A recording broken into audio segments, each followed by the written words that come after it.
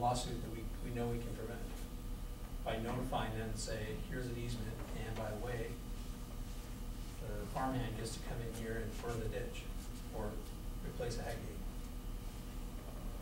What, what I'd like to also see, if, and I think I still see a potential here where it could be denied, because from what I'm getting, I'm get, correct Nicole, if I'm wrong, but in, as part of the total review of this, it was up to the developer or their, their planning person to bring everything that they could see to the county commission when they first presented this. Is that To the planning board.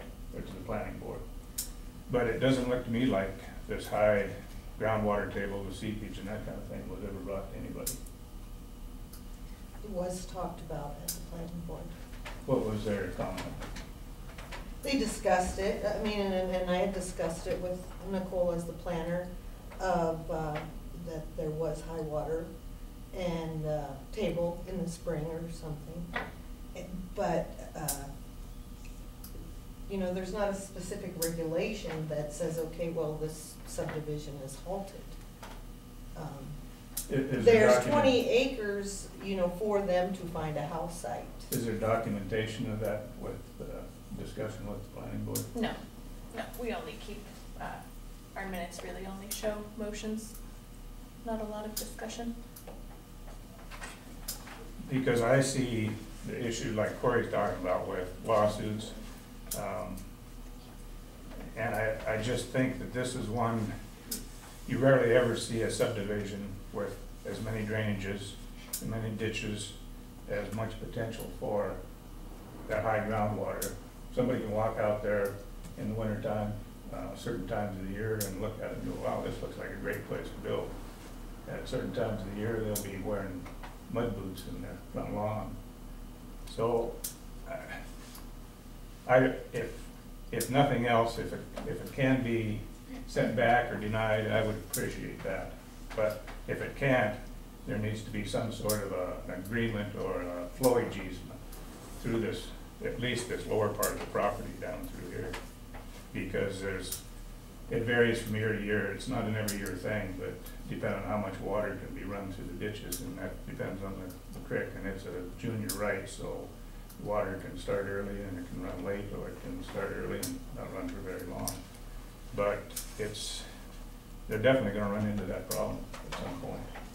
Now, before they, they build, they do have to put in the eight-foot test pit that will be inspected and, you know, like Julie had stated before, if groundwater is caught, then they have to do a monitoring well and monitor that.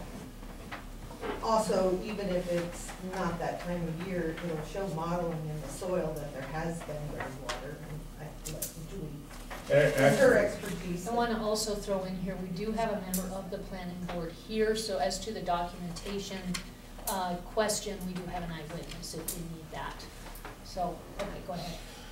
Um, Julie, where we're at is um, Corey has suggested that um, subdivision regulations state that we can deny a preliminary plat based on um, what you put together or a hired person like JJ Connor puts together for the septics, uh, septic system. And last week, we talked at length about, uh, your discussion with Bernadette, and possibly JJ. So, uh, can you bring us up to speed on that conversation regarding this part of the issue? I don't, I still, I don't know what, exactly what you're asking me. Corey, can you please repeat so that Julie understands what the issue is? Um, because I'm, I'm sure I'm not capturing it nearly as well. But part of it is, that, I mean, this is in the preliminary, not so much in the final review, which As I understand, for an area, in terms of criteria for government.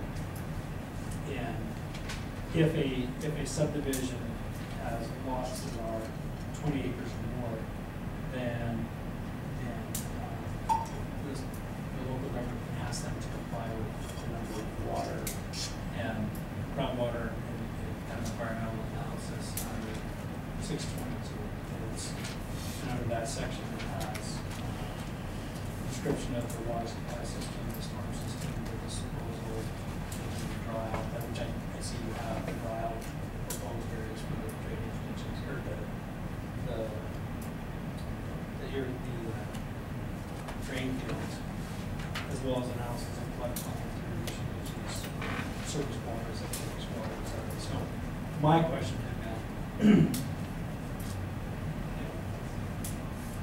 why are we doing that? Or why are we just looking at the fact that the county, that the county can do that?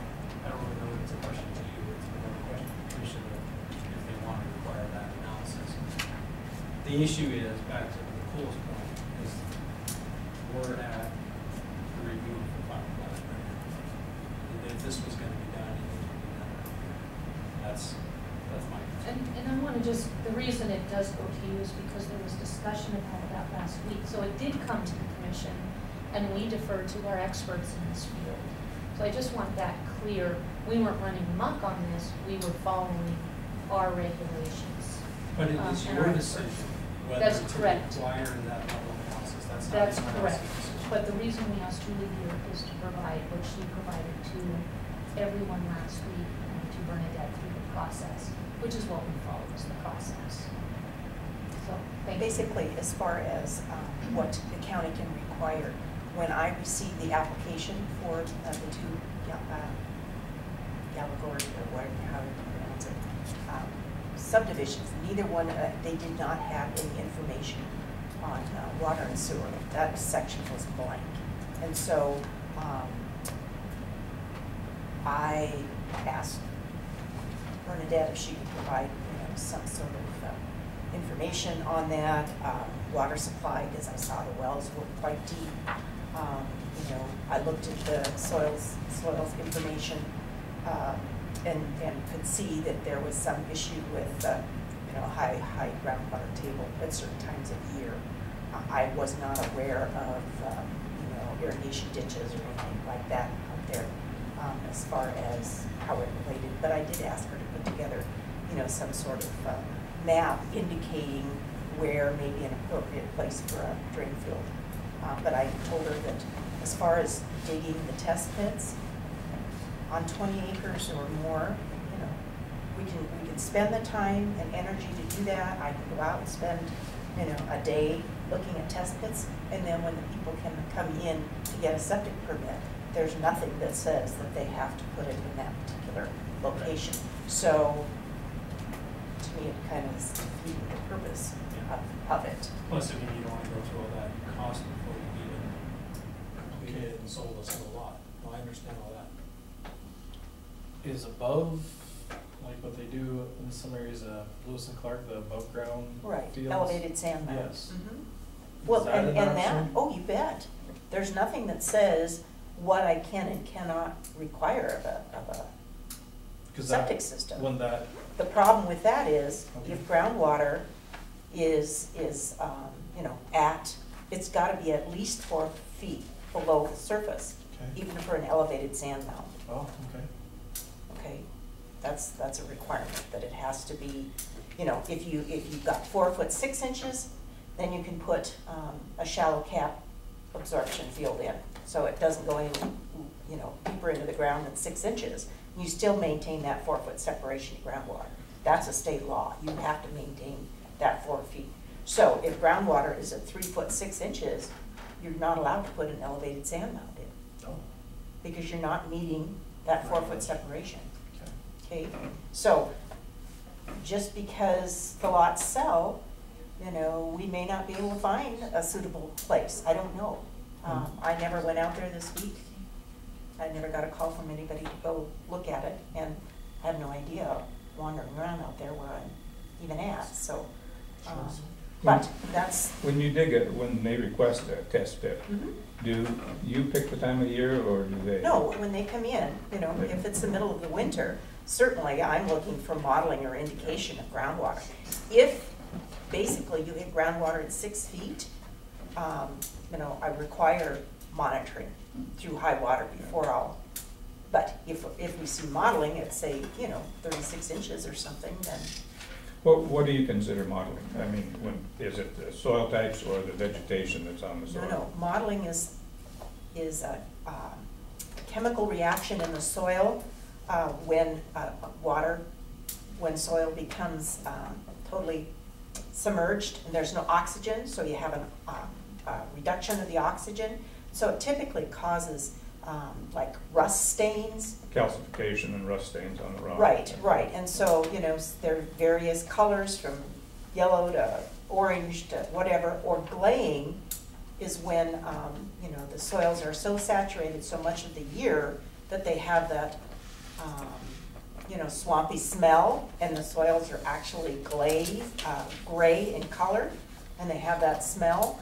Um, we did a couple test pits out, you know, south of town, um, where, I mean, it was very obvious, the minute you got down to eight feet, you didn't run into groundwater, but it was obvious that groundwater was, you know, shallow. So, just because of the gleying, so it just all depends on, you know, what we see out there. But, um, the redox potential is, is what causes the. So, I mean, at times, at times a year, there is no water, and other times there are. And it doesn't go away. I mean, if, if there was high groundwater to two feet within the surface of the soil ten years ago, it's still there. So it, I mean, it, you know, has a historical significance to it. And a lot of what you rely on to make your recommendations is what's brought to you in the, in the preliminary phase. Well, yeah, I mean, you know, we went through this several years ago about twenty acre parcels, and we were saying, you know, we can't let these go through, so let's require the same stuff as what we did, or what DEQ requires. And I got a lot of, um, you know, developers, you know, didn't like that, even though the law allowed for it. And so that's kind of, and then, you know, it, it seemed like every time we did that, they'd come in and they'd want a different, different location. So it's not something that I've, uh, we haven't had a lot of subdivisions come in in the last few years, but it's, it just seems, yeah.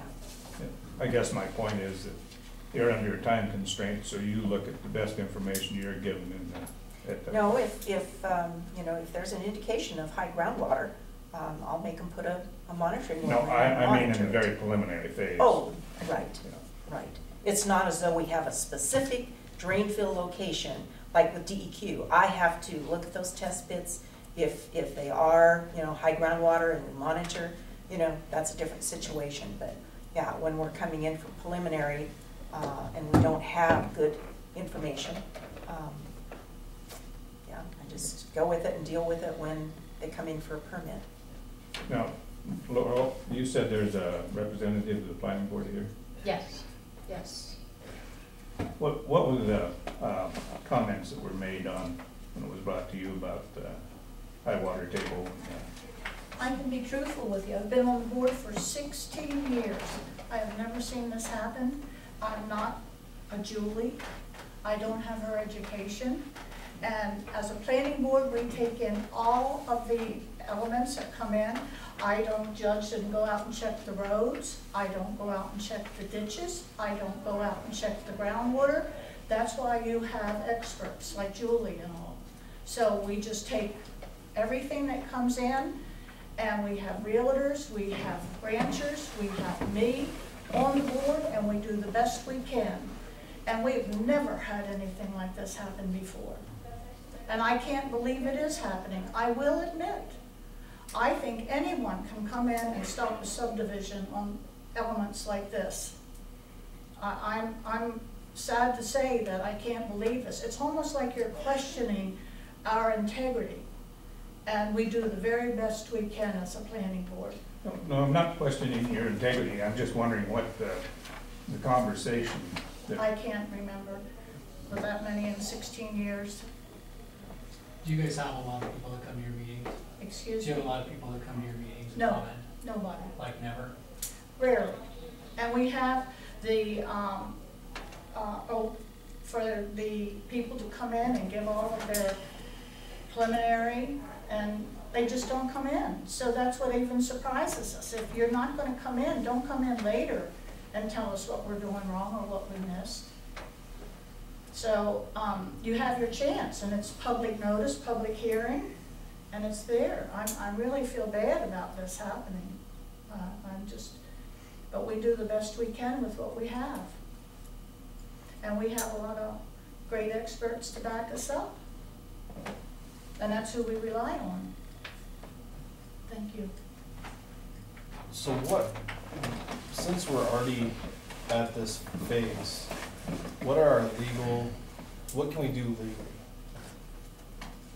So legally, you're at a point of review of final plat, which says the governing body shall examine each final subdivision plat and approve the plat only if A, it conforms to the conditions of approval set forth on the preliminary plat, which I don't think there you added any conditions, correct? There were, there were conditions. What were the conditions? Oh, yeah, there were conditions of approval, but there were no additional conditions. Is that what you're asking? You said Asking- you added conditions. No, I, well, I was just saying, what were the conditions of approval on the preliminary plat? Oh, do you want me to read through them? Sure. Sorry. No, that's fine. I'm Um, gonna go get a Title seventy-six while you do that. I'll take I your have a couple of, if you wanna flip in this packet there, if anything. Seventy-six, three, six, seven. Here's the packet. Oh, yes, I was just going on my phone. You know, they need to come up with an MCA app. That'd be awesome. They, uh, We need an app for that. Okay, I'm gonna read you track three conditions, but they're identical for track four, so I don't have to Okay. read them twice. So number one, plans for sewage treatment and water supply shall be submitted to the Broadwater County Health Department for review and approval. The letter of approval shall be filed with the final plat. Number two, prior to any development, a driveway approach permit shall be requested from the Broadwater County Road Department. All requirements of the approved permit shall be met. Number three, prior to any development and or soil disturbance, a weed management plan for the proposed development shall be submitted to the county weed district for review and approval. All specifications and requirements of an approved plan shall be met. Number four, plans for the location and installation of individual mailboxes shall be reviewed and approved by the U.S. Postal Service prior to installation. Number five, there shall be sixty-foot no-build zones around all drainages on the subject property. These no-build zones shall be depicted on the final plat. Six, the applicant will be required to submit the final plat drawings in electronic format to Broadwater County in ArcGIS, AutoCAD, or MicroStation format. Number seven, the applicant and the Fire Protection Authority having jurisdiction shall use their best efforts to draft a fire protection plan specifically for this subdivision in accordance with Broadwater County subdivision regulations. The plan shall be equally acceptable to the FPHJ, the applicant, and the county governing authority. The plan shall adequately address the fire risk analysis, all findings of fact, and appropriate mitigation measures. In the event the parties are unable to come to agreement by the final plat submittal, the applicant shall become eligible to provide the per lot cash and lieu fee for water supply as may be defined in the Broadwater County subdivision regulations in effect at the time of submittal. Number eight, the final plat shall be prepared in accordance with applicable state survey requirements, Montana Subdivision and Platting Act survey requirements, and the county subdivision regulations. Number nine, the book and page reference to the restrictive covenant filed with the county clerk and recorder shall be indicated on the face of the final plat. In addition, restrictive covenants, revocable or alterable only with the consent of the Board of County Commissioners, shall be placed upon the property and shall provide for the following. A, notification of potential health risks from radon concentrations, and that such risk can be evaluated through soil tests and mitigated through radon abatement techniques incorporated into structures. B, a notification that all dwelling units within the subdivision shall be constructed to specific specifications which meet or exceed equivalent provisions in the applicable state building code for this seismic zone, which is zone three. C, any additional replacement or relocated utility line shall be installed underground in accordance with county subdivision regulations unless otherwise determined by the utility provided. D, information on the driveway length to lot shall be provided to the Broadwater County Planning Office. Driveways five hundred feet or greater shall be designed meeting Broadwater County subdivision regulations, and a turnaround or hammerhead T turnaround shall be provided for emergency vehicles with a three-point turnaround ability. E, any exterior lighting shall be directed downward to minimize visibility beyond the property lines. F, a waiver of the right to protest to join a special district for the purpose of providing community water and or wastewater treatment system improvements and or maintenance. G, a restrictive covenant binding the landowner, any heirs, successors, and assigns, and all future owners of property within the subdivision, agreeing therein to hold Broadwater County harmless and indemnify Broadwater County from all claims, demands, obligations, suits, causes of action, damages, and liability, including the county's costs and attorney's fees, arising in any manner whatsoever out of or relating to the existence, use, operation, repair, and or maintenance of the following. Sub-item one, earthquake fault zone and any seismic activity, and sub-item two, water availability.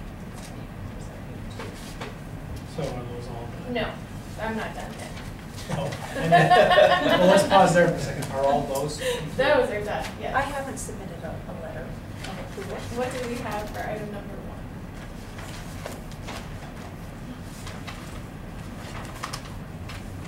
So, and for sewage treatment and water supply submitted to Broadwater County Health Department for review and approval. But I thought that we were waiting until they were, Yeah, we, um, I had sent a copy of the email that I had sent to you saying about that information, and you said, thank you, that information is sufficient for this review, you can make the Mylars. Because, uh, and that, the planning board had even talked about the wording of that, because you're not issuing approval for a specific site at, at this time.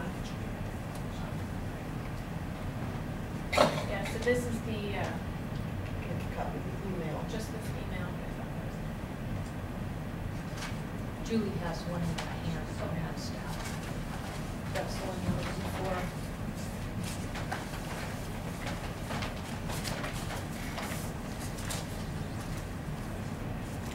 Do you want me to keep going, or are you set? Well, I'm just curious, I'm, I'm wondering if all of them have been met with, that's basically my question. Have they all been fulfilled? I say yes, yeah, that's why I brought it first. Right, but I mean, how do you, Because like The post developers office represent- one, you guys get something? Mhm, we got a letter from the post office.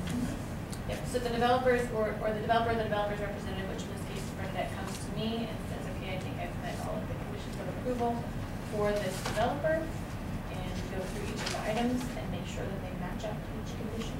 Okay. And then that's what's in our books that we get. Okay, so then it says, if all the conditions are, are met from the preliminary plat. Second, it conforms to the terms of this chapter and regulations adopted pursuant to this chapter, which is extremely broad. There's a lot of stuff in this chapter. Chapter. And the county treasurer has certified that all of those property taxes and special assessments assessed and levied on the land to be subdivided into. And they have. Yep, and I have a copy of. The receipts. Yeah. So, really what it comes down to is if we, if you, you guys determine that this bottom plat conforms to all the terms of the chapter and regulations regarding the subdivisions, which is broad, which is good, bad, it's dangerous, I think. You have to be specific, but I guess here's my question on the regulations. County regulations adopt, that we've, the county's adopted to to implement this, there aren't many, are there, I'm guessing? Many regulations. Yeah. Um, it's a, I Two think it's a inches? sizable book. Okay. Yeah, I have it, if you wanna look Well, at it. the point is that, It's a good thick one. alright, I'll just tell you my concern. The whole water issue, I think that can be solved. I mean, not the, not the, the low water. You just have to put it somewhere where you don't violate the, whatever regulations you're dealing with. My concern is this irrigation ditch. So can you talk to us about this irrigation ditch? Because right now we see two ditches going, um, kind of west to east across these tracks. Yeah, there's actually, there's a major ditch comes in, there's two ditches, there's two different drainages, depending on how high the, the ditch is flowing, how much, we can run five hundred minor inches of water, which is a fair amount of water. So if we're able to get the hole right, it splits up in the Winston livestock property, par- portion of it comes down across the, um, south side, and a portion of it would come across the north side. So you use both of those ditches that we see in the top, in the top, um, left, or top Yeah. right, uh, Up top in here, both these ditches, this ditch, section nine. this ditch splits and follows along the bench, comes up on the bench down into section ten and fifteen to irrigate in there. This ditch splits right here, goes more to the southeast, and then it comes across section sixteen and then back in and gets some land that's lower down here. This one, is just, there's essentially an overflow ditch if we're running lots of water, and this ditch can't handle it, then it'll follow this drainage down and join back in with this, this ditch here. So it's just two ditches. Actually, three. There's, Okay. there's two ditches entering the place and then they split. Okay. A couple of Three exit. Pardon? Two come in, three get out. Yeah. Okay. Two come in and, and three get out in different places. yeah. Okay, so my perception was that there was only one ditch and the other one was just a drainage. You're saying that they're all used for Well, yeah, this is an overflow drainage is what this ditch is that comes down through there. So which one's called the?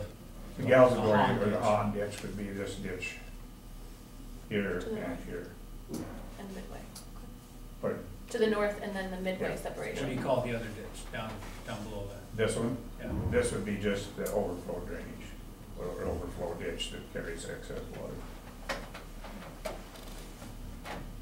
Can you get five hundred inches of water? We, the right is five hundred inches, this time of the year, we can get five hundred inches of water, you know, when the creek's running Yeah. high, but it's a junior right, so as the creek falls Yeah. off, then that decreases, that's what I say, we start the water as soon as we can, which is April first. We start the water running, and then we run it as long as we can, and that's why some years that it's much more seepage down here, depending on the length of the time the water runs, and also how much water we can run. At times, this, this ditch would be totally dry, but in, when we've got a lot of water running, there'll be water running down that ditch also. Five Five hundred inches is a good amount of Yeah, water. that's a lot of water, and, but, we were talking And- Craig Loam.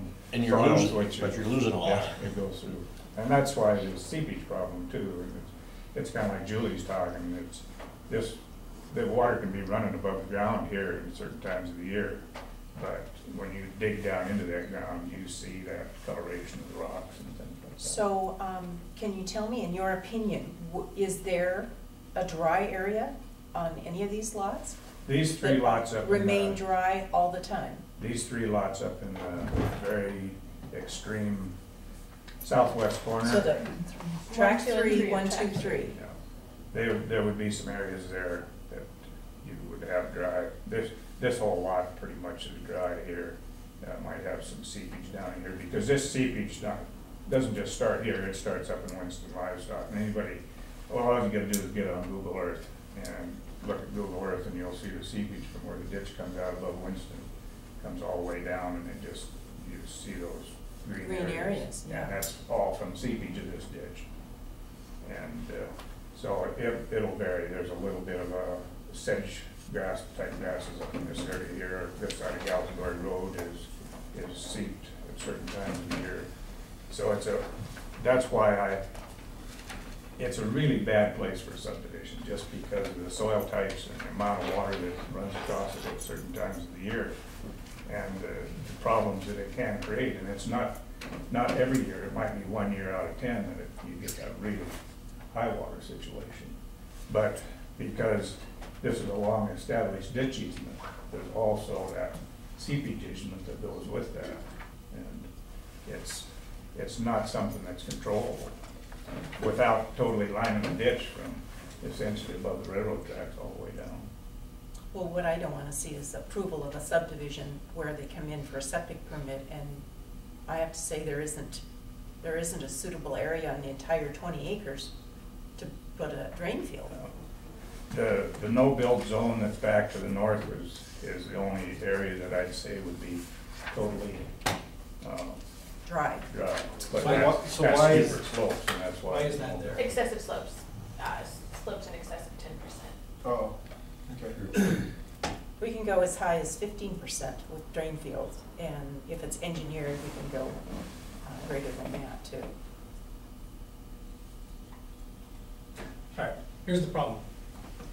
There's a US Supreme, or Montana Supreme Court case, Musselshell Ranch Company against Seidel-Joukova, which I just read this morning.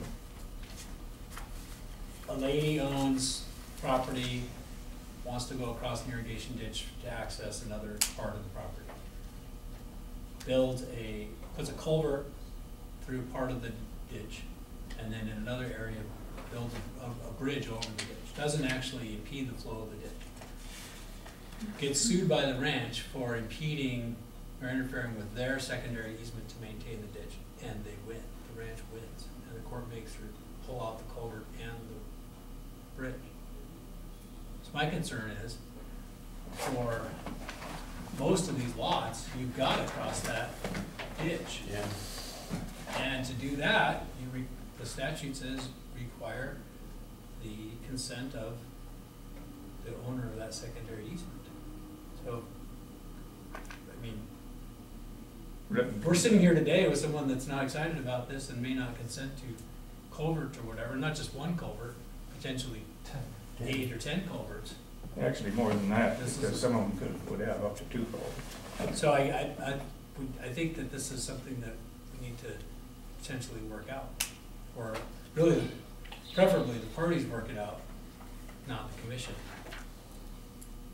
But can we, we, can we deny because of that? Well, I see two issues. One, I don't think that the, that the irrigation, and I mean, the reality is, it's hard to, it's hard to, it's hard to figure out these irrigation ditches because of all that stuff. The reason I you all that stuff about the water court is because they're like these lurking, hidden property rights out there that then come out and ambush you at the worst time, like right now. And that's what, that's what's going on here, is these are property rights that aren't recorded downstairs, and so doing a search is not going to turn them up. Okay. The way to do it is you have to do it through the analysis of who's using what, the water around. Um, secondly, and I don't know the answer to this, how have you recorded or how have you given notice to people of secondary easements in the past? Like, like, so this, this owner has a right to come on any of these plots to maintain the ditch.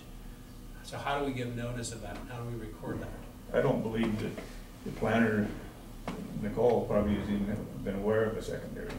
I think John stopped and visited with you a little bit about it one day when this was all going on, and uh, that was the first that you were even aware that there is a secondary easement.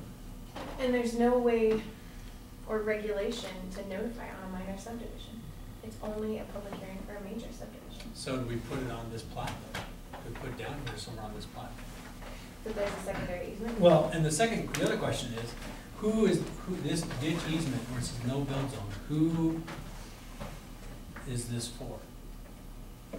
It's been right now it's- standard, right, it's been standard practice for, because this is not the first subdivision that has gone through the county with a ditch, uh, an old irrigation ditch of some sort, where you cannot find, like you said, there's nothing filed, they're historic ditches, but they don't go away unless someone petitions to abandon them, and that goes through a, a specific set of uh, situations. So, in Or if a water right is, is determined to be abandoned by a water court, Right, and if that was the only water right that gave rise to that easement, that easement could be abandoned also. right. But that's, Exactly, and so the planning board has always required if there is a ditch, to put an easement on it, so that the landowner or is aware of that there is an easement here, sixty foot or whatever it was deemed to be, no build zone so that they, you know, can't be obstructed. In case in this type of situation, someone comes forth and says, whoa, I have water rights, you can't fill that ditch in. Um, because actually the planning board's had a lot of them with ditches. I mean, it's, uh, because a lot of the land, uh, that is subdivided are lar- larger lots that are in the country, even some right on the edge of the city limits have had ditches. Um, one we're working on right now, you know, an old historic little ditch when it was, uh, agricultural land. but what kind of an easement is this? Is this a public easement? Or is this a private easement? Well, it's not designated as either, it's, it's a no build zone for the Right, ditch but- easement. But an easement is a property right that benefits someone. Wouldn't that be explained by, by being a ditch easement? No, because it's, it's- so the question is, is this a ditch easement for Corey Swanson, Chuck Hahn, or the whole world? Who gets to go on that? Just because there's an easement doesn't mean that everybody in the world gets to go on it. If, if I purchase an easement across Nick Corthal's property, only I on that, or me or my agents. And if everybody else goes, hey, there's an easement, let's go have a party across this property, they're still trespassing. That easement is only for the benefit of whoever owns that property. So that's the question, is, is this a public easement, or is it easement specifically for whoever uses that irrigation conveyance for water?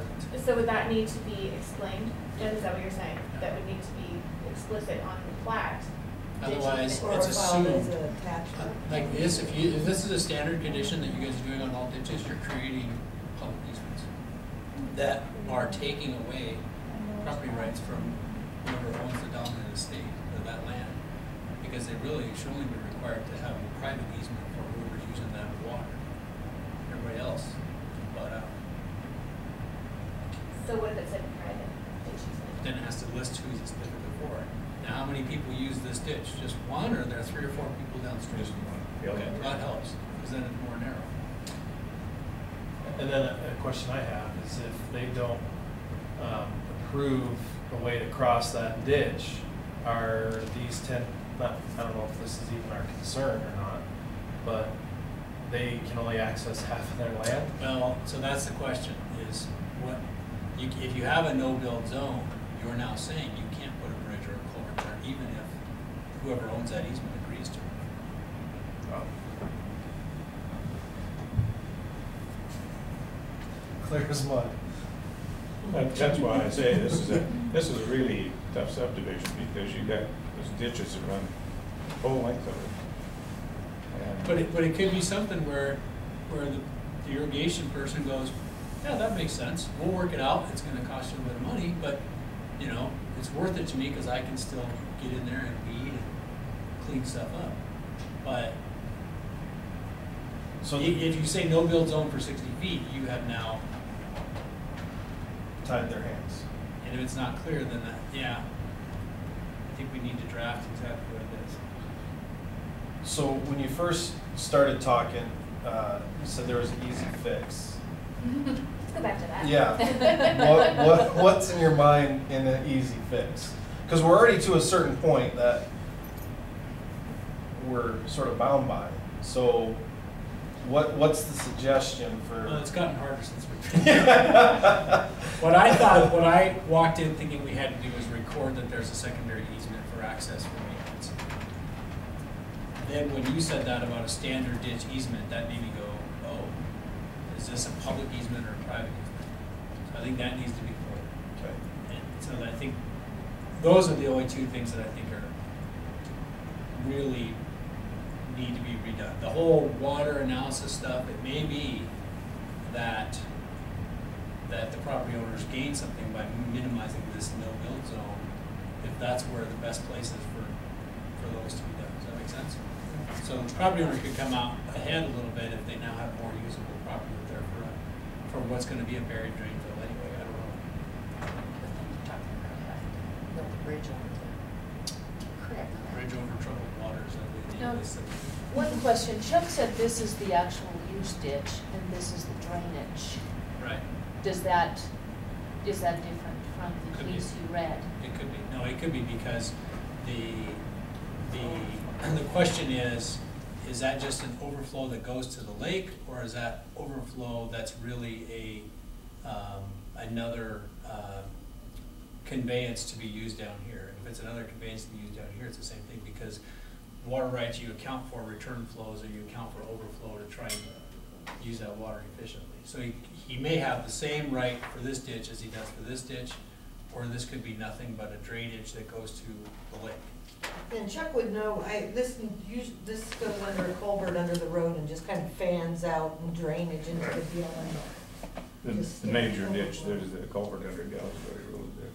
So, Th- This one actually comes in just above that culvert. yeah, so this, that's a good point. This might not, this may be not an irrigation ditch, but rather a, a drainage ditch. If that's the case, then most of this is at least close to, if not on, the no-build zone anyway, rather than, except for these over here. Yeah, here. this down south would be, or north, I guess, down north would be, So plat, this, the second is where you're gonna have all ma- the major issues, is that, am I reading that right? Yeah, this Uh, ditch here is really hard to even, This is probably the main um, picture, yeah. see on the ground. What It about this one here? Kinda comes Yeah, down and then it fades away to nothing. This is. Uh, one through here. This one goes down, And, uh, ties into this ditch here. Yeah. they- You know, they the, tried to the get crew did the where best say they high could to water, pick out it's an where overflow it that comes could. down. So And that's why it's These broken joints lines. it being this used or is it not being smaller used? Ditch up in this area, so it starts at Not- in not some sure. hard stuff. Yeah, it, it, it becomes ve- I mean, this one up here is very well defined. This one comes down pretty defined and then through here, uh, it's very hard to see where the ditch actually is. Um, you know, like I said, the crew did the best they could to find it through there. Until the water's flowing, right? Then it's pretty easy to spot? Yeah, Okay. yeah. Like now where the water's flowing, you'll see that it's, it's coming both ditches. It's splitting here and here. We don't have the full five hundred inches right now, so there's no water. But what about this one, the overflow? Is there even, is there water in it now? Uh, that one I couldn't tell you right now. I was just up there the other day, but I don't know if there was water. I don't think there's water flowing in it right now. Or section ten. Here. The creek can't be too high right now, is it? No, it's probably got, well, it was coming up again, but it's not as high as it'd be June. This is the main June is well usually defined highest. irrigation ditch. So seventeen, eighteen, nineteen. That's gonna go. What sections are you looking for, Corey? Like Twenty-two and fifteen, twenty-three. twenty-two and 26. They're gonna be the next road down. Yeah, twenty-two is down between Hahn Road and, and Gals Gorge. So which ditch feeds that?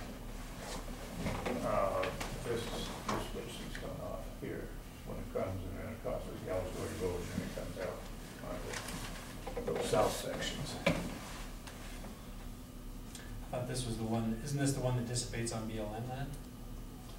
Uh, there's no BLM ground down there, there's state ground there. Oh, Yes, this is the one that goes to the Yeah, the that one cuts across state ground, section sixteen, Dissipates then from it, there.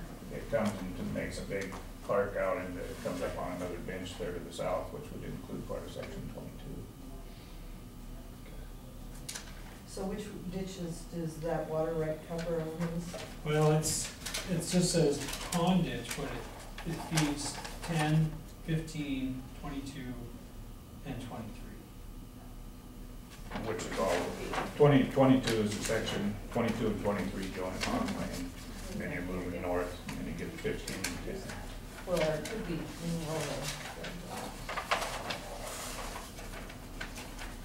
But we're not gonna work this all out right here. I, what I would, I think there's a couple options. One is, if you have a, a little more time, we could talk some of our- amongst ourselves, but, um, this easement might need a little reworking anyway. I mean, so here's the concern though. The concern is if you deny at this point, think we need to also communicate to the landowner that we're not saying no, never. We're saying some things may have to be fixed here. Well, how does it work if they deny and then we go back to the preliminary? Can some of that stuff, some of that stuff's already done. Mm-hmm. Can we go back and So the commission- fix some things? The commission could deny, the developer would then have to go back through the process and pay the fees all over again also. Can we postpone? This is our second meeting on this. Can we postpone again? Do we have grounds? I mean, That's, that's what you've gotta consider. yeah, we have to consider, If you have grounds that deny. yes. Right? I mean, these are great points that, that everyone's bringing up, but we're already to a point that A, B, and C has already been done, so we're just looking, Now we're talking D. yeah, so do we have even the means or have we given ourselves enough rope to hang ourselves later on? That you, there's fresh information that's come before you, so. But they can't consider fresh information because it's not a public hearing, this is a request for final plat approval. So they cannot impose any additional conditions. You can only consider new information if it's presented to you at a public hearing for preliminary plat approval, which we're well past. So even though we're discussing this, we're, s- we're already out of the realm of what we're legally allowed to do. I would say yes, but of course defer to court. Because you can only, um, and this is seventy-six three six ten, um, I'm gonna read, uh, seventy-six, seventy-six three six ten number two. Except as provided in seventy-six three five oh seven, after the application and preliminary plat are approved, the governing body and its subdivisions may not impose any additional conditions as a prereq- prerequisite to final plat approval if the approval is obtained within the original or extended approval period as provided in subsection one. So, the commission imposed a list of conditions of preliminary plat approval. The developer met the conditions of preliminary plat approval. You cannot add additional conditions. Do do you have an extra, uh, Pat, thank you very much. Um, now, you guys talked when there was snow on the ground, I understand. So that was quite a while before preliminary plat came to us, perhaps before it went to the planning board. Was this brought up, these issues with the drainages I at spoke that with, I spoke with John about it, um, he said that he had some concerns about it, and that Chuck was the authority on it, and he would be getting in contact with me. On who? John Hahn, Chuck's brother. And I tried a couple times to catch up to you and missed you at the office. And I was, I was not feeling well for the first two months of the year, so I, I didn't get the contact. And, right, and so, you know, and yeah, Chuck did leave me messages, but that was after preliminary plat approval had been obtained. Okay, So, um, so this is something we certainly could have done something about prior to, now it's, it's up to the, uh, I don't know how, I don't know how you can do it, that's why we have Corey to. right, navigate. Well, I think, I think we need to step back and talk there, because, I mean, the first thing you need to do is ask your client, do they really want to proceed as drafted? As drafted, this thing is pretty much an impassable barrier to accessing these, these lots.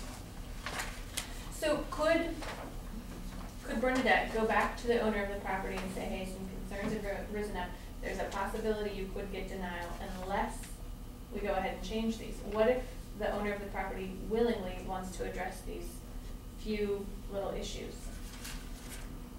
Is that something that, he- is, is that something that would be addressed if the owner of the property says, hey, I, I get that these, you know, I would think if the owner's willing to, And can we continue this meeting so that we are still in the same meeting?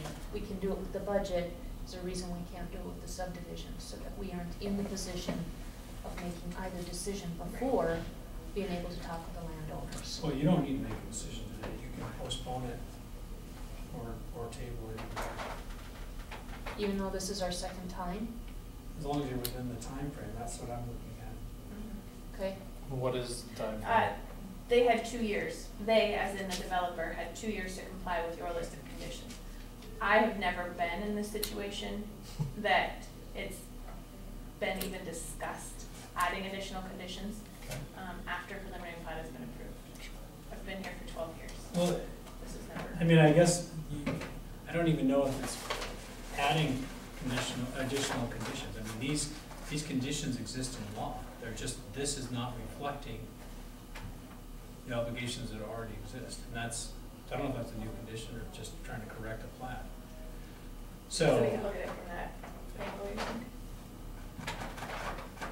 So I could tell the landowner we need to, um, reprint the Mylars and be, put more specific language on the ditch easement. is there a, is there a, is there anything else that goes with the ditch easement? You guys have a, a conveyance or, Like a separate document? yeah? I mean, we could put a, a, a note on there, a ditch. I think of some words, uh, the wording of it, a ditch and maintenance easement to any owner of water rights with that ditch. So it could be general in case, I mean, someone else may came up with another water right for the lower ditch or something. And like I said, that's why we have done this in the past. It's always been a requirement because you don't know when someone comes up with a water right that is not filed anywhere, um, in order to find. So we could use some sort of language that, um, maintenance easement, uh, for owners of water rights ditch. And if someone wants to do, establish a new water rate, you, that, that's, that's post this. They, you know, they wouldn't necessarily have the right to, to burn your, your property, burn your water if that makes sense.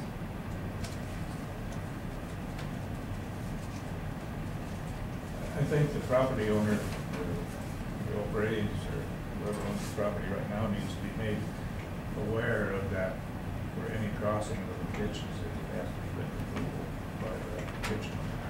Because of the way the ditches do intersect each one of those lots, that's a big issue. We're just talking about the main ditches, not the runoff ditches. Well, I think we need to even, uh, the clarify main that, ditch, don't we? you even, even a runoff ditch, you have a prescriptive easement on it, because it's considered an irrigation road. Okay. So, most irrigation ditches, or very few irrigation ditches, ever have a true easement, they've got a prescriptive easement. And then, along with that prescriptive easement, goes that secondary easement to clean that ditch.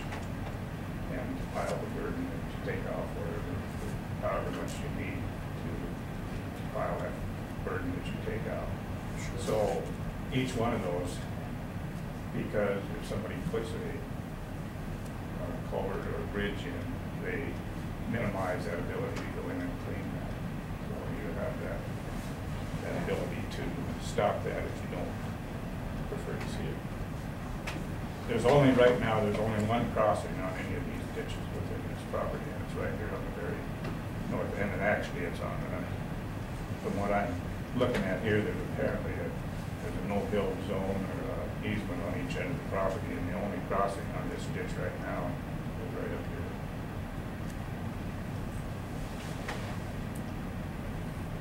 That, well, yeah, another thing too, with, with, it, it's kind of interesting that, you know, it's way beyond the point, but is that when, uh, this was looked at by the county or the road department, they didn't say, you know, we'd like to see a frontage road along these lots, so that we've only got one or two entrances to the county road instead of having ten entrances to the county road.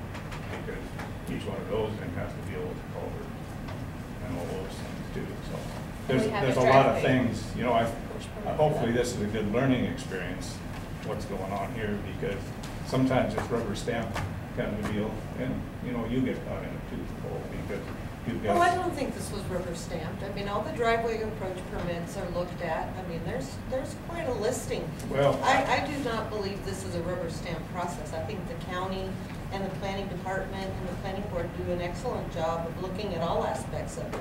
I'm not saying that they don't, but I'm saying there's a certain amount of stuff, it's just that, you know, I get this piece of paper, the fire department comes and they say, you know, we'd like to have a thirty thousand gallon tank because we don't have access to water.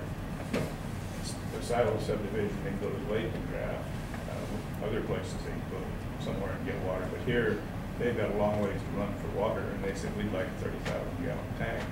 State law says the developer can write a ten thousand dollar check, State law does not say that. The fire board, that was their own regulation.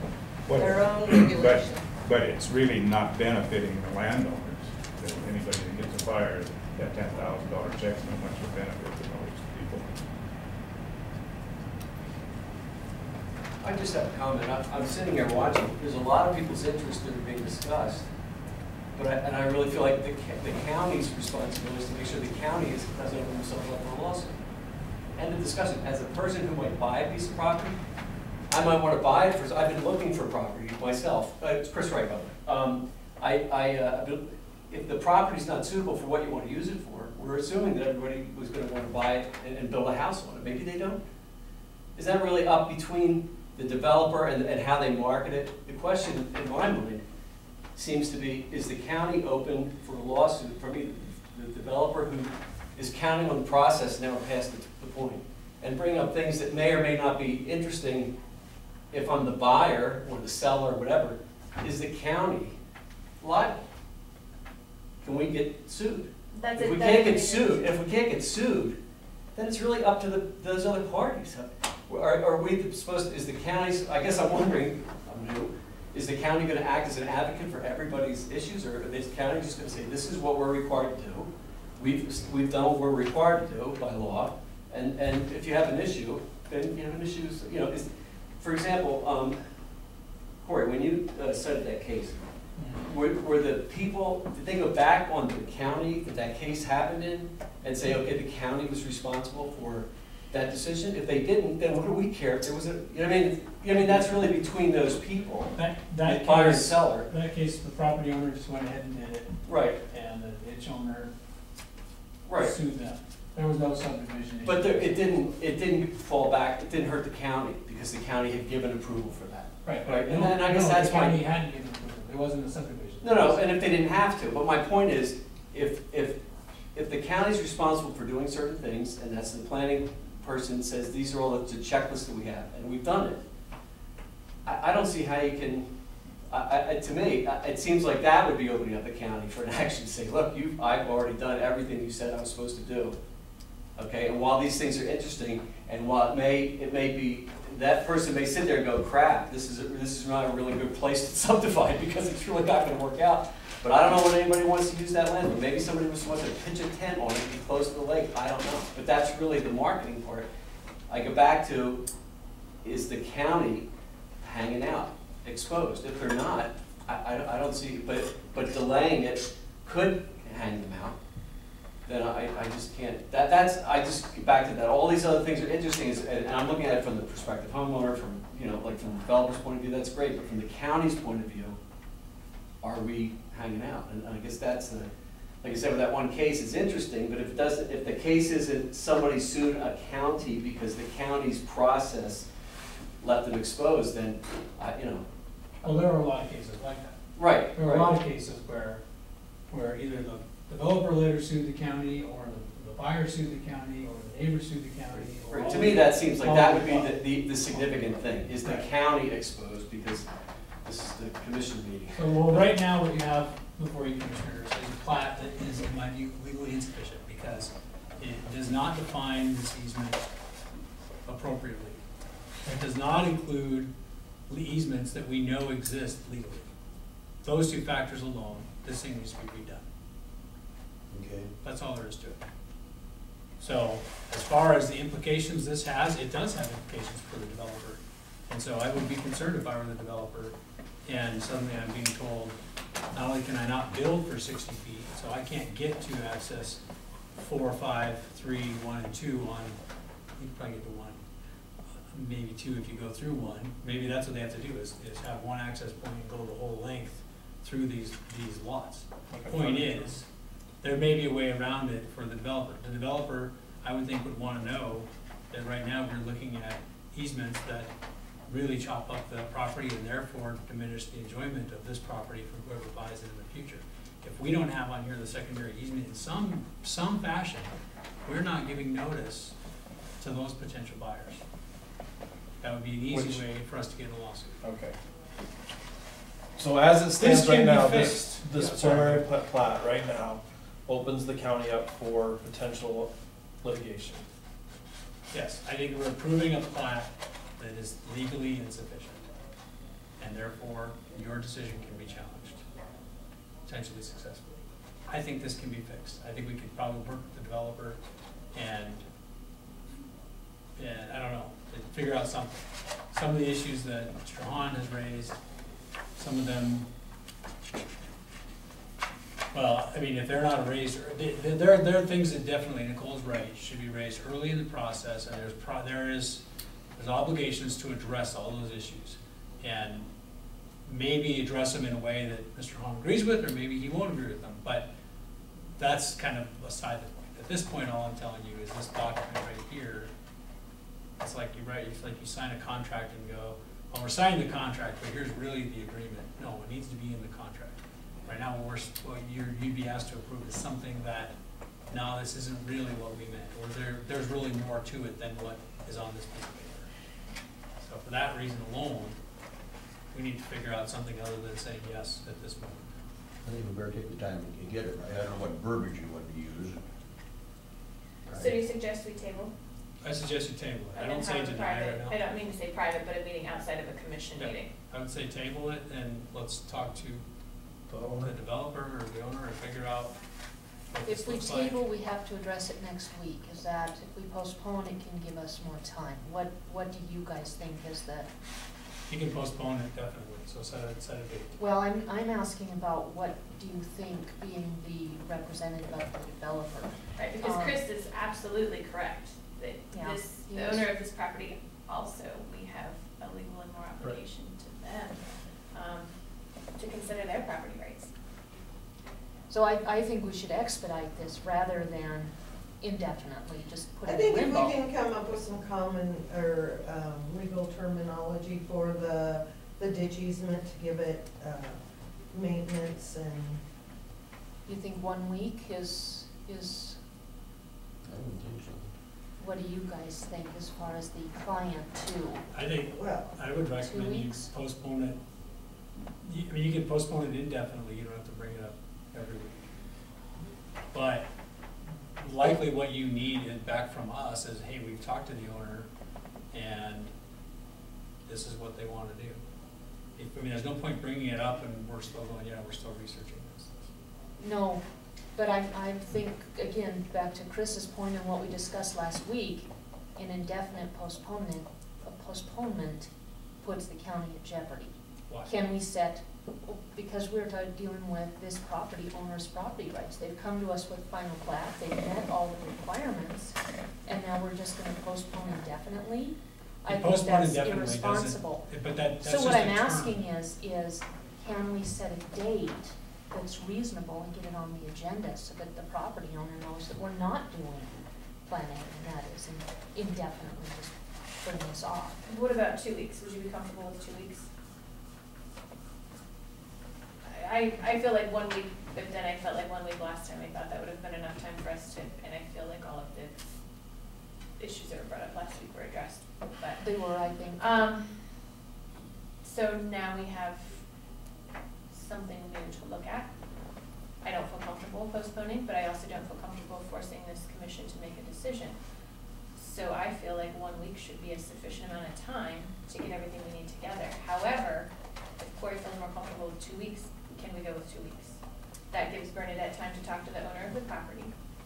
That gives Corey time to do any research that he would need to do, and all of us to sit down at a table and have a meeting about what can and cannot be done. And is it possible when you do talk to the landowner, to have them submit something in writing or, you know, just so we have that? That says he's okay with it. Yes. I'm, I'm, Yeah. uh, what, I, I, I guess, okay with what? I guess I'm confused with what exactly don't you want them to agree, We- with- that we agree to what? Well, well, obviously we have some issues with this, the ditch easement, so just addressing that, I mean, cause that seems like the biggest concern right now, am I, am I following that right?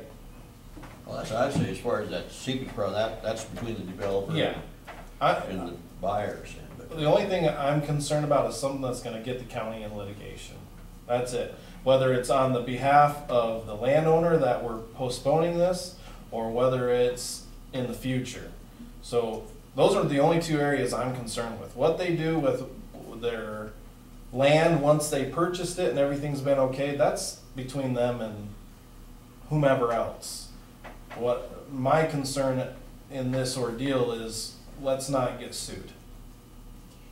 I guess my question is, is what, uh, and just so I have clarification, what you need as a commission and the county attorney, is what you need is clarification on the ditch easement and its use and for whom? Yeah, I honestly think we, we ought to just, three of us get on, well, at some point, maybe not initially, but get on the phone with the owner and talk about what, what the issues are. And specifically, that is, that is the number one issue. So- and we have the planning board who wishes to speak. I have, this has really opened up a can of worms.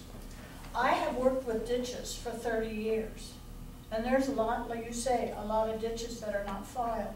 How are we to prevent this from happening in the future as a planning board to protect, protect the landowner, the buyer, the seller, us, the commissioners? Right. How are we to address this in the future? Do you have any idea what we do? Um, does that mean all the plats that we've approved in the past sixteen years could possibly come back and bite us because of ditches? And Mr. Holman, when we had the public hearing, you could have written a letter even if you didn't feel well to come in. You could have addressed this and prevented all of this from happening a long time ago. Yes, and I wasn't aware of the process. I thought it could go to the final plat, that I was, I didn't realize that if you That's didn't, why we have a I didn't public realize if you hearing. didn't do it early on, you were out of luck. I agree, I, I'm concerned about the same thing, how do we avoid these issues in the future? So what should we do? I And mean, I'm not figuring out.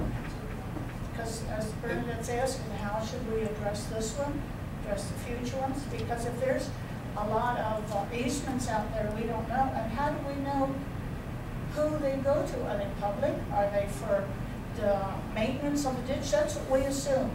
Didn't matter if it's public or private, it was for maintenance of the ditch. Um, that's what we just assumed. It sounds like too, that the only way to find some of this stuff out is everyone that's lived there for fifty or whatever years. That's exactly, exactly been my concern this whole time. Even when we started this subdivision, you know, I have full faith and confidence that Bernadette did research to try and find the users, or not, not the users of the ditches or the water rights that went that ditch.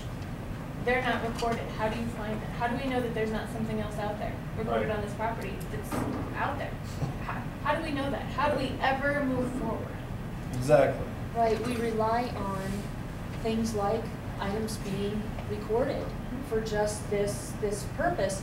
If it bypasses the process of being recorded, how are we supposed to find it then? I mean, other Absolutely. than, you know, It's, If this it's is because a- it's an obvious feature and it's part of state law.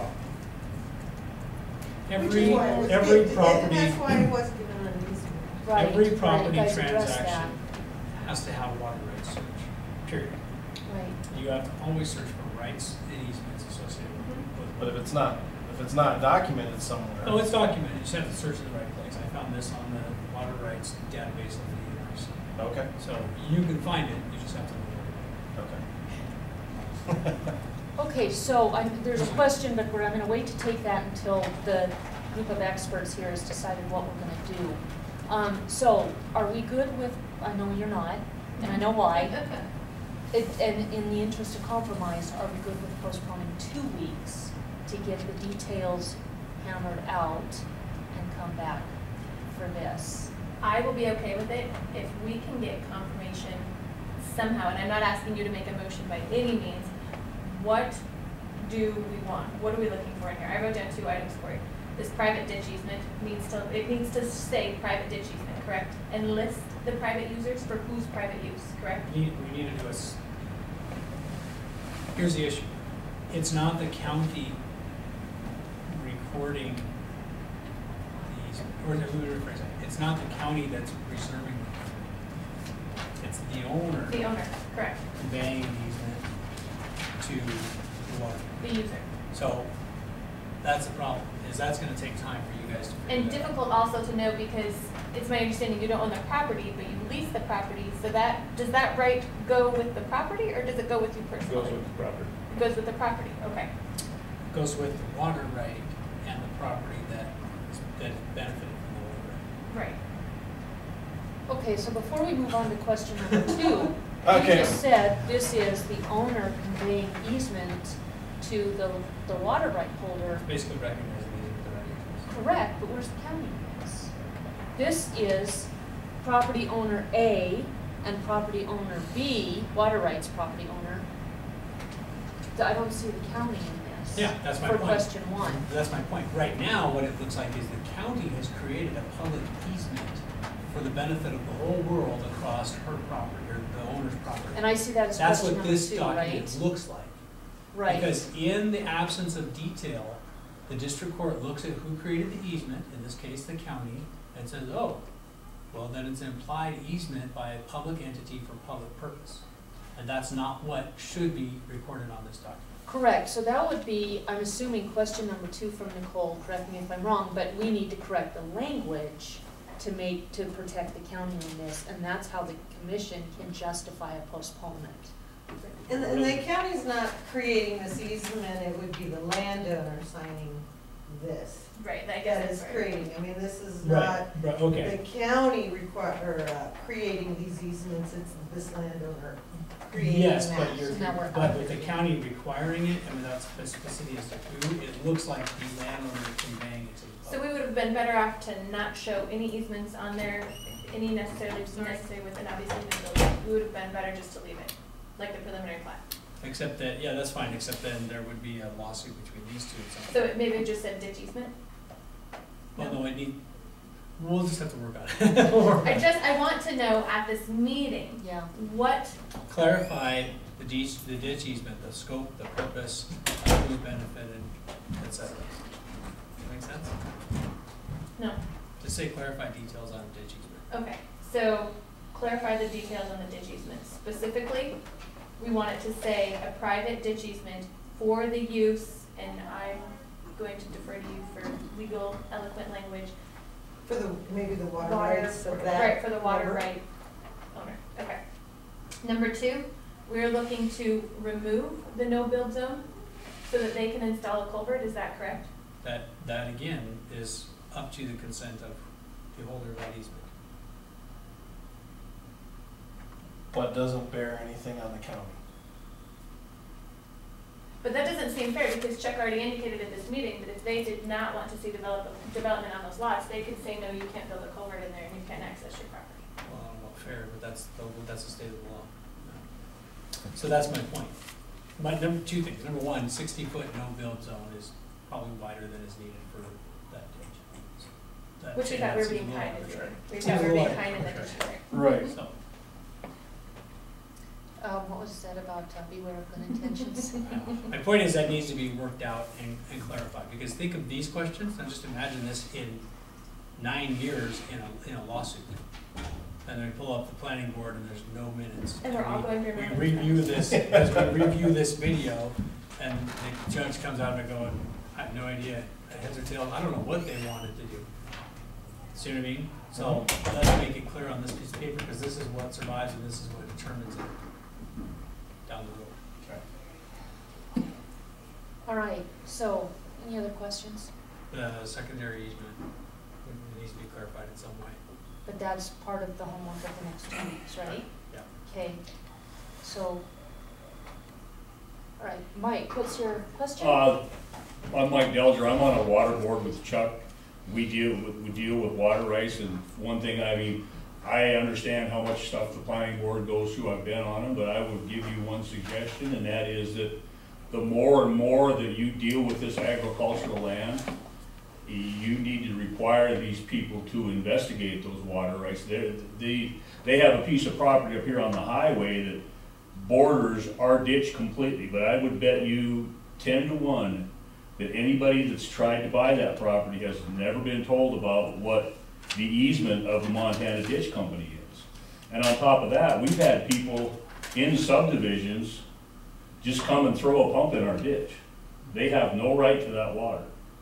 Uh, And the more, every time that we see now is we are a constant battle for every ounce of water, the entire state is. So if, if you're selling agricultural land, those people, those developers, they should be made to made you aware of what water right easements and stuff go through that property. Because for our ditch board, it's a constant battle on water. Well, maybe your ditch board could do a list and give them to every realtor and tell them from now on, when somebody buys a piece of property, be it agricultural or not, doesn't matter, give them that list. How do you know? Okay, we're gonna Yeah. actually bring Yeah. this back But that, around that's just to my Mike. advice to you guys, Thank you. is try to understand Thank that. you. We're gonna bring this back around to the subject at hand because we are way over time on this. Are, are we in agreement then? I, I heard no other questions, no other concerns from the experts at the table. Are we in agreement that we're putting this back on the agenda in two weeks? And everybody's okay with that? Yes. Okay, I see some very tentative head nods. What's, Um, what's our deadline to, I'm not, if it's two years, I'm not saying we take advantage of two years, I'm saying what's the deadline? The we county doesn't really have a deadline, at this point, the deadline is up to the developer. So I, I can't say, you know, the developer had two years from the time of preliminary plat approval to come back and meet the conditions of, of preliminary plat to obtain final, which they've done. So now, the county doesn't really have a timeline. Yeah, I think the, the timeline is, is, is it's presented to the commission, and then state code says they shall, and the word shall is in there, shall approve it if conditions are met and taxes are paid. Which has been done. Exactly. Within how much time, doesn't say. No, when they Well, come to but us, if, Cory. it doesn't, uh, there isn't uh, necessarily a time, if taxes are paid and all conditions are approved, there doesn't need to be a time, you see what I'm saying? Because they have two years to do all the conditions. But once it's brought forward, it's, all the conditions are done and the taxes are paid. So. I think we're doing the right thing, but I think we're still in liability land because they met the requirements, they're doing everything right. But if, if they're agreeable to cleaning this up, Oh, yeah, I Um, think that's a good thing like- for everyone, that clean up the, the, the verbiage of the ditch easement, you bet. yeah. But I think we need to be respectful of them and their rights on this as well and, and give them a respect of the date. No, Bernadette, I'm sorry, can you? What's that? This, this other, can you take this one? Or do you wanna print another? These are all signed by the owner, these are Oh, okay. Yeah, I only mean- final copies. I can Can I get, can you I get a that. blank or, well, I can't print, but that's good. No, I can bring. I agree, the waiting is a good idea. I don't like hanging out here for two weeks because of the position it puts us in, but I think you're doing the right thing. I just don't feel we have a choice at this point Nope, with this I conversation. think you're right. And I think this will be a good learning experience on the ditch, because like I said, this is not the first ditch Right, easements that Nor we've done. right. Nor will it, be the last, 'cause there's a lot of ditches. And I think a good learning experience for you guys on these water ditches, communicate with the planning board, communicate with our planner and the community developer at a time when they can address these issues versus at this point when, again, we're in liability land. Um, so hopefully everybody's learned something and we can get this corrected and everybody will be happy at the end of that. Yeah, and I think the process allows for the developer, these issues to come forward, because there's always a, a, a time in the process that they say, oh, okay, this may be undevelopable land. Maybe we don't wanna proceed with a subdivision, maybe this is not usable, before a lot of expenses have been paid, et cetera. So, Right. and that's why I think it is brought forward, you try to bring these issues all out in the preliminary process to determine if it is developable land.